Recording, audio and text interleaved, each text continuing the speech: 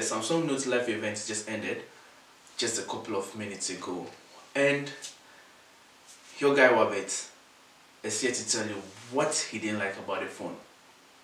Before I start, don't get me wrong, it's a perfect phone, best phone, it's a phone for you to grab. Like right now, it's I set the bar high for any other phone to compete with. But there's a few things here and there that I didn't like. First, no earphone jack or headphone jack.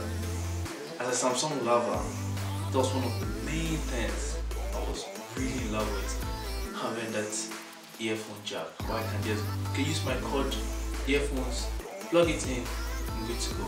Now I have to invest more money to get um, okay now you have to invest more money to get a wireless headphones before you really enjoy good music.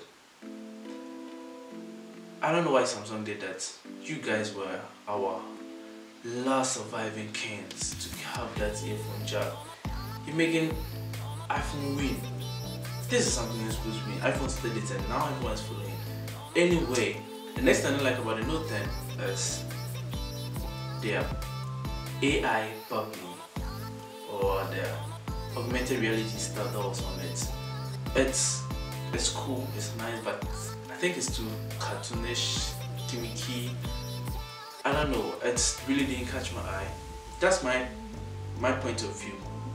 Others, someone can think otherwise, but that's my point of view. But in all, it's a great phone and Wabi to be here again to give you in-depth reviews.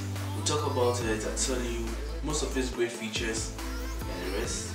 Well, there's a lot of videos be bringing out because of this new phone. There are other products in the ecosystem they should. So stay tuned. This is your boy Wabbit and this is a short one. I'll be back with another video tomorrow.